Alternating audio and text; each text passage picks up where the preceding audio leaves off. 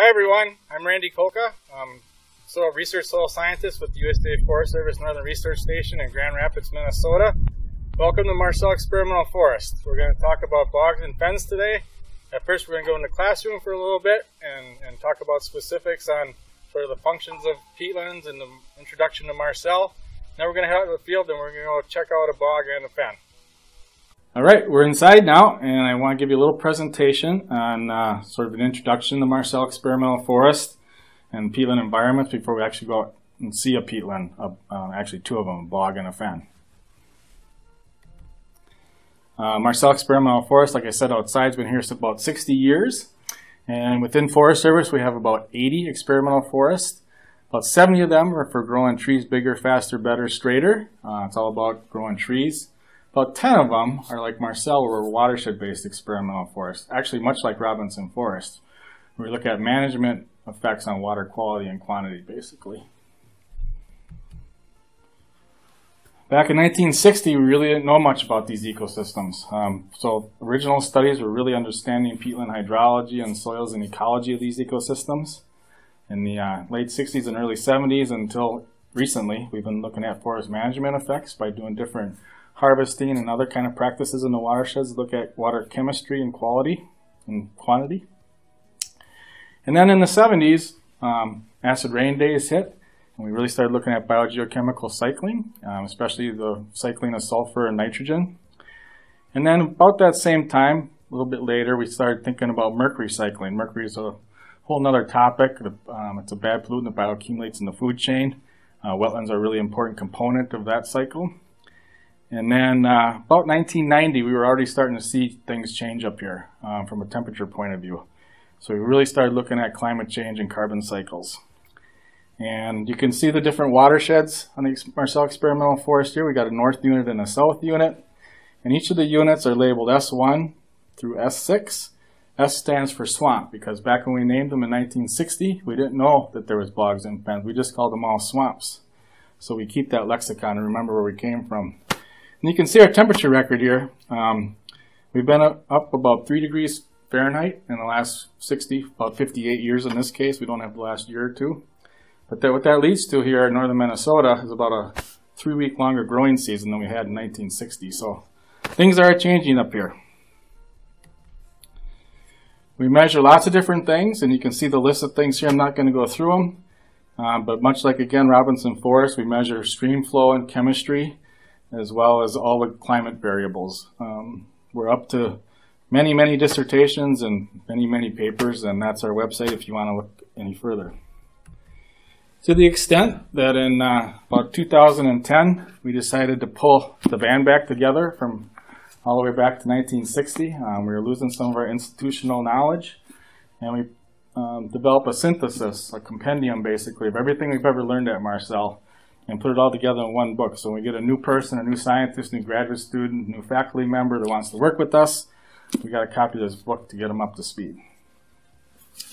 So with that introduction to Marcel and peatlands, let's talk a little bit about peatlands. Peatlands are really, uh, in one simple way, it's a balance between the decomposition of vegetation and the production of, of vegetation. And over 10,000 years since our last glacial period here, production has outweighed decomposition just by a little bit. And if that just outweighs decomposition by a little bit, you can get tens of meters of peat built up over 10,000 years. A couple of different ways peatlands form. One's called an ice block depression and that is when a big hunk of ice calved off the front of the glacier and maybe was covered up with sediment or was run over by the glacier back and forth. But after the glaciers retreated, there was ice um, trapped in the soil basically, and these could be huge pieces of ice. And when the glaciers retreated far enough and things warmed up, that ice of course melted and created a depression with water in it. And that can be the start of a peatland, or many of the lakes here in Minnesota. Um, and so as peatlands developed, the shoreline started filling in with vegetation, cattails, that sort of thing. And uh, sooner or later, the whole peatland filled in, and uh, or the whole water body filled in and became a uh, terrestrial environment. And so that process going from ice block depressions is called terrestrialization, basically making terrestrial environments. Um, the other way peatlands form is through paludification. That's when you have a water limiting layer in the soil that doesn't allow water to penetrate very readily. So it ponds water, and anywhere you're going to pond water, you start building up organic matter. And in this case, that's the way many of the peatlands also um, began. Peatlands are also important for a lot of functions. Um, they're really important carbon sinks on the globe.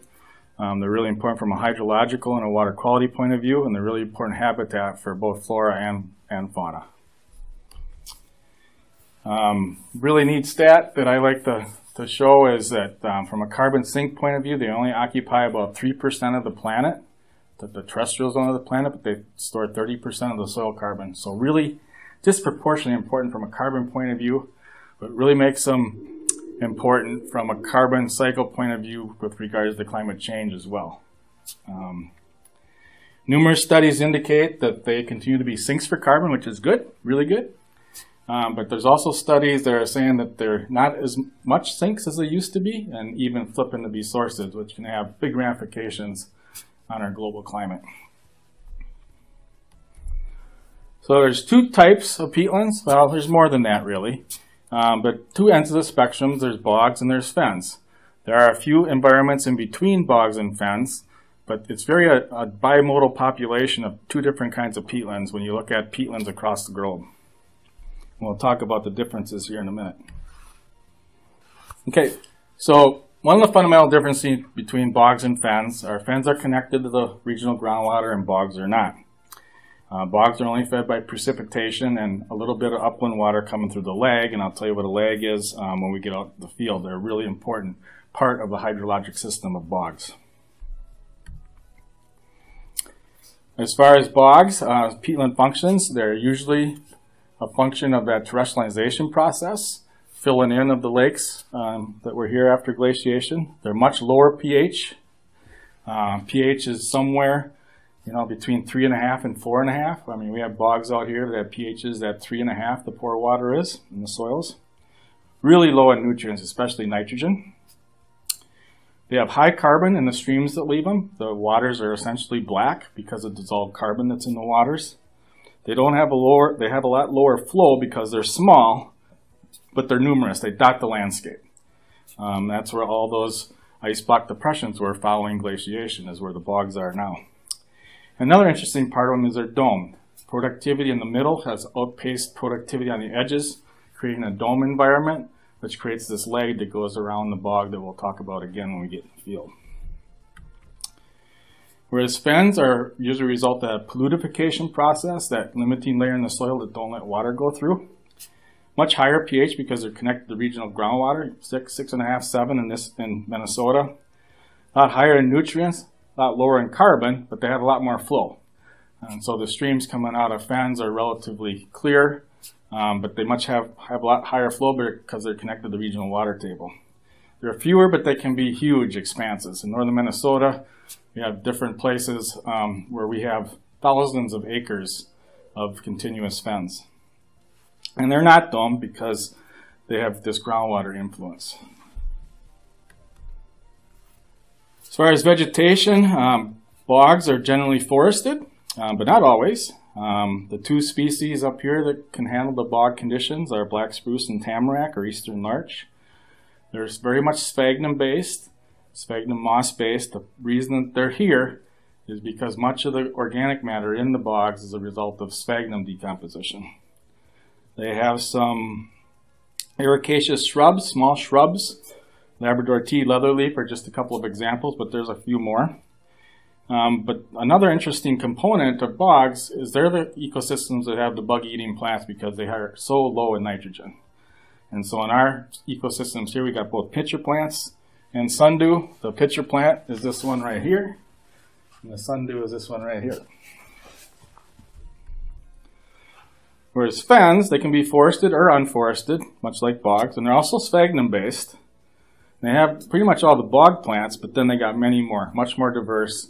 Um, in a bog, you might have 10 different species, for example, of plants, whereas in a fen, you might have 40 or 50 different species out there. And we'll see that later. And some examples of this are the cedar swamps, the birch and black ash swamps that we have up here in northern Minnesota. Again, numerous sedges, ferns, and other ground flora in fens. So the other functions are habitat for various flora and fauna. Um, a lot of things that are you know endangered and, and only these habitats. Um, they're a great place for white-tailed deer in the winter because they're so insulated systems that um, deer like to be congregating in those warmer environments in the winter. This is the moccasin flower. This is Minnesota state flower, generally found in peatlands. Wood frog, wood turtle. And this is a boreal chickadee, not a black-capped chickadee like most of us have. Um, this chickadee pretty much his whole entire life lives in a bog. Matter of fact, they make their nests out of the sphagnum from the bog. So, really interesting species that does come down in northern Minnesota from Canada. So just to recap, peatland formation is two different processes, terrestrialization and paludification. Uh, peatland functions related to carbon, hydrology, bogs and fens. Remember the bogs are only precipitation fed and the fens are connected to the regional water table. Remember the bogs are generally produced through the terrestrialization process and fens through the paludification process. And of course we just talked a little bit about important habitat as well. So um, we're going to gather up our things and we're going to head out in the field and we're going to go to a typical bog and a typical fen and we'll uh, talk about the differences in the field now. So now we're out in the field. We're going to visit a bog first. This is the S2 bog. It's one of our control or um, reference systems for the Marcel Experimental Forest. And the first thing before we get to the bog, we're going to go through the lag zone. I mentioned the lag back in the classroom. The lag is an area of the bog that's really important from a hydrological and biogeochemical point of view. As I mentioned, the bogs are domed behind me. Um, and so the water runs from the top of the dome of the bog and the, they're only domed you know, maybe a foot or so, about 20 centimeters maybe at the most. And so the water runs off the top of the bog down to this zone here, which is the low spot in the landscape, the lag. And of course we have upland waters running down to this zone in the lag as well. And there's a mixing of bog waters and upland waters, which really makes this an important area because it's a little more nutrient rich than the bog proper. And so we have this zone, it's kind of narrow, where these waters mix, it's a biogeochemical hotspot where we have more methane, more nitrogen dioxide, more um, other things going on here from a biogeochemical, biogeochemical point of view because of these mixings of these two various different waters. The other thing it has a lot to do with is the plant communities. Here the plant communities are very much like the fen because of the upland waters are more nutrient rich. You'll have a lot more diversity and as we start moving into the bog, you'll see we start losing that diversity of the plant community. Here we got some birch, some other hardwoods, and as we get to the bog proper, we start to see pretty much a closed canopy of black spruce. And then that closed canopy of black spruce goes all the way up to the dome in the middle. And so we have the black spruce in the middle, in the dome, and then on the edges we have the lag. And it's the lag zone on both sides of the bogs where most of the water flows, and that's what coalesces downstream to actually develop into a stream that leaves the watershed, and that's where we measure flow and chemistry at the weir downstream from here. So one of the things, again, I mentioned back in the classroom is how nutrient poor these bog ecosystems are. Really low in nitrogen, really low in pH. So there's not a lot of plants that can grow here. Like I mentioned, one of those plants is black spruce. Uh, believe it or not, these black spruce that are maybe four to five inches in diameter are over 160 years old. So that's how slow plants grow out here because of the nutrient uh, lack of nutrients, like I said, especially nitrogen. One of the other thing that grows out here because of that lack of nitrogen is the carnivorous plants, the bug-eating plants. And this is a pitcher plant right here. And um, as you can see, they are full of water right now. What the pitcher plant does is it has hairs that point downward into the plant. And when a bug lands on those hairs, it slips into the pitcher of water, basically and then it dissolves in the water, and that's how the plant gets its nutrients. Um, similarly, we have sundew out here, which is a really hard plant to find because it's so small, but it has stickiness um, to its leaves, and a bug gets stuck on the stickiness of the leaves, the leaves fold in and it starts decomposing it inside the leaf. So that's the two mechanisms by which these two plants acquire their nitrogen. So now we're in the, at the dome of the bog, in the center of the bog here. And again, I want to talk a little bit more about the vegetation out here in the center. There's very few species out here. You can see still one of the black spruces that's only about four or five inches in diameter. We have some ericaceous shrubs here, including the Labrador tea. Have a few other species. Um, we had a cranberry out here. This is the cranberry. It uh, is a really small plant that actually has a cranberry about the size of your, your thumb and it just puts all its resources into the berry itself instead of into the leaves because it has to have the seeds to propagate the next generation. Um, actually, here is one of those cranberries. So you can see how big they are in comparison to the plant themselves. Um, out here in the middle, the peat in, um, in this bog is about seven and a half meters deep, so about 22, 23, 24 feet. And that's built up over time since the last glaciation here. And very slowly, but even slow processes over time can build up um, massive amounts of, of peat, uh, organic soils. And that's because they very they have very slow decomposition. Um, and this is a good example of that. We took this cookie out of a bog uh, next door to us here, and uh, it was down about five or six feet. We were trying to install some instrumentation. We had to cut the cookie out and we brought it up and uh, we carbon dated it and it was about 5,000 years old.